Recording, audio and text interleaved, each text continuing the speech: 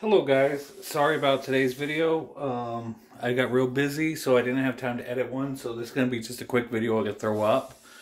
And just updating you guys on what's to come. As you see I'm working on a Homelite chainsaw. So there's a sneak peek of that. I'm going to take you outside and show you a few things of what to expect on my channel, Simply Small Engine Repair. And um, if you guys want to see anything, you've got to hit that subscribe button, hit that bell for notifications. No intro today. You know what? Let's add an intro.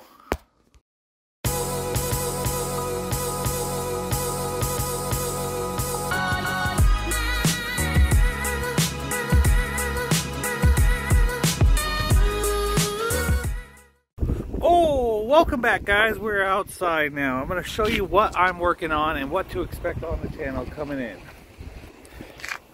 We got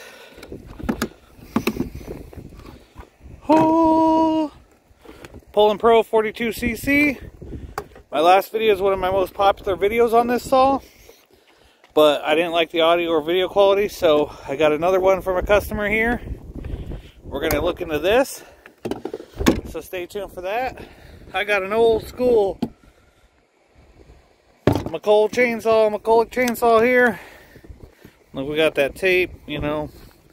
These things are always fun. Going to be a project. It's actually a customer's. Got a welder in. I need to learn how to use this thing. Um, paid money for it.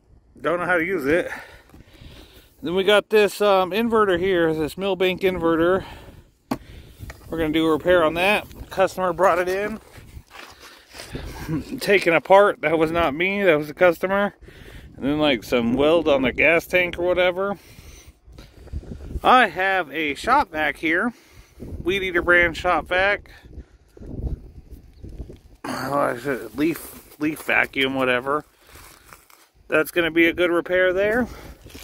Stepping on up over here, we have this Champion digital hybrid open frame inverter.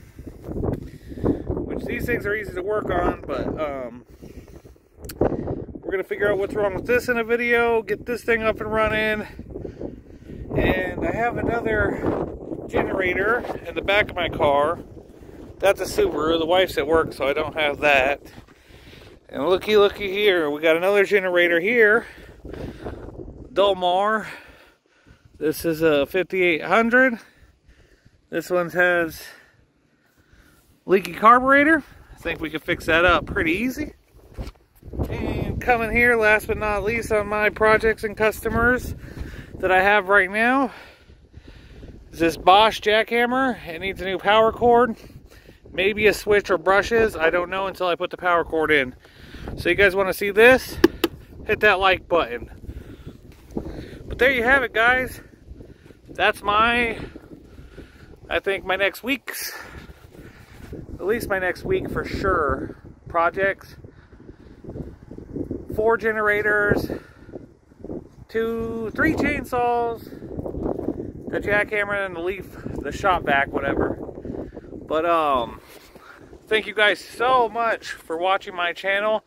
Thank you so much for subscribing to my channel. And once I get that home I'm cutting down this tree. I don't like it. I don't like this tree. Thank you guys for watching.